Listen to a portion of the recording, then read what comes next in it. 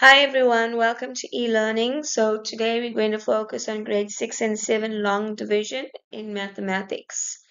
So before we start, what you need to know is what eat the terminology for division signs. Now let's look at the number 4679. We're going to divide that by 34. So basically what this asks is how many groups of 34 make up 4000 679. Now, you need to know what each number represents. So we look at the first number in the red, which is 4,679. That is called the dividend. Now, that is what you are dividing the, the number that is being divided. Then if we look at 34, 34 is the divisor. We want to find out how many groups of 34 can make up that whole number. And the last part is the answer, and the answer is called the quotient. Now you need to know this terminology because in the exam they can ask you um, solve for the quotient or what is the divisor or they can ask you in the following um, calculation which is a dividend. Right, so going to set up this in the long division manner what we're going to use is we're going to use the clue board method to solve the um, problem that we have here, solve for the answer. So we take this number and we separate it each digit. Now when we're dividing it, we're not going to look at it as each digit, but we separate it because we want each number to be in its correct place. Like the 4 is a thousand, the 6 is the 10, hundreds, the 7 is the tens, and the 9s is the ones and we're going to divide that by 34. Now the first thing you're going to ask yourself is what's the closest number we're going to estimate? Remember you did rounding off earlier on, so we're going to use those rules to estimate. So we're going to say what number can be very close to divide into this. So we're going to start with 100, okay, because we can make it. Sometimes you will start with 50 if the divisor is bigger than the dividend but here it, it is smaller so we're going to use 100 so we're going to say 34 times 100 is 3400 and we're going to take the answer of 3400 and we're going to subtract it from the dividend.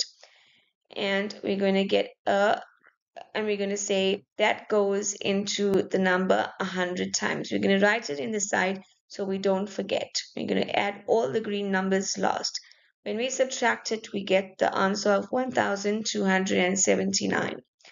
Right, now we're going to solve again. We're going to ask, we're going to divide again. How many groups of 34 can go into 1279? So we're going to use our clue board, which is multiplication. So we're going to divide, we're going to halve the 100. Let's see if that works. I'm going to say 34 times 50 and the answer is 1700 and we say oh, oh no we have a problem. So we're going to estimate and we're going to go less and we're going to guess now. So let's try 30 so we're going to say 34 times 30 is 1020 that's pretty close to it so let's try and use that. So we're going to subtract it from that number and we get our on we say that it goes 30 times.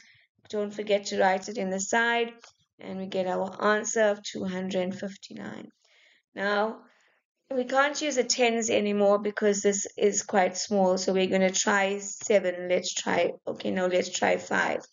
We say 34 times 5. That goes 170 times, but 170 is too little. So we're going to go a little bit higher. I'm going to say 34 times 7 and that is 238. Now that's pretty close to 259 and that goes seven times. Then we're going to subtract. We're left with a remainder of 21. Now all you have to do is to add all the green numbers in the side. That's 100 plus 30 and 7 which gives you an answer of um, 137 and we take that and write it in the place of the quotient which is on top. And we say 137 and don't forget your remainder which is 21 excuse my voice it's going sorry. Right so now we're going to try dividing three di four digits by three digits. So we're going to set up our division sums, but now this time we're also going to start with a hundred. Oh, sorry, this time we're going to start with a 10 because it's three numbers and divide and the dividend is only four numbers. So doing a hundred, it's going to be 34,600. So we're going to try with 10. So when we multiply it by 10, the 3,460 is pretty close. So we're going to subtract it. We're going to write how many times it goes, which is 10 times. We get our answer. And that 1,219 is our answer. So we're going to find how many groups of 346 goes into this number. We go back to our clue board and we multiply it by 5. And we see that what the answer is 1,730 and that number is too large. So we're going to go down. We're going to guess and we're going to try and use, we're going to use 3. And this our answer we get is 1038. We're going to subtract it from that number. We're going to write in our side how many times it goes? It goes three times. When we subtract, we're left with an answer of 181. So we're going to estimate and guess again. And we cannot multiply. Why?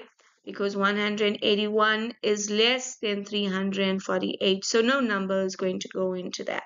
So we're going to add up all the green numbers. And we're left with 13.